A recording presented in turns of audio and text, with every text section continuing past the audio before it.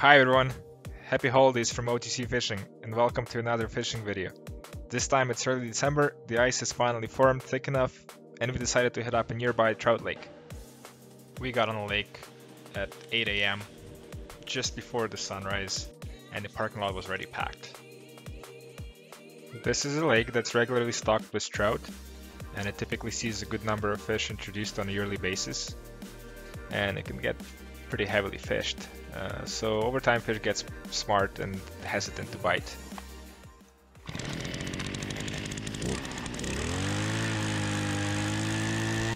We fished in 10 to 15 feet of water just outside of the drop off on the edge of the main basin of the lake. And that allowed for some pretty good sight fishing and you get to watch uh, fish eat and see how it reacts to your actions.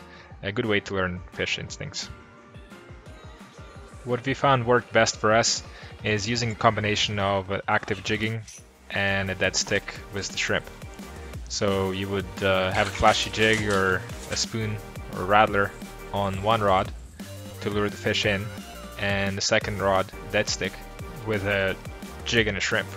Some of the jigs we used were Berkley atomic tubes or atomic teasers, as well as any sort of small rattlers or blade jigs. So what would happen, the trout would come in to investigate your active lure, uh, but then once he senses the smell of the shrimp, uh, he would just eat the bait. So here I'm going to show you some highlights of the trip, and I hope you enjoy the video. Thank you.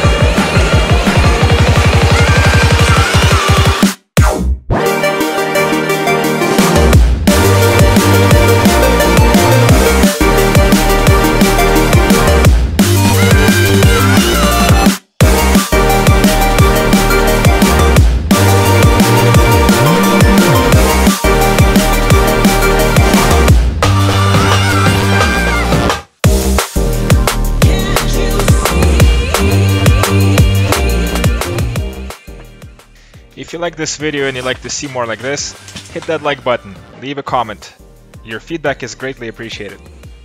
In upcoming future, we're planning on a giveaway, so make sure to subscribe and your notifications are enabled. Stay tuned for more content. Thanks for watching and see you next time.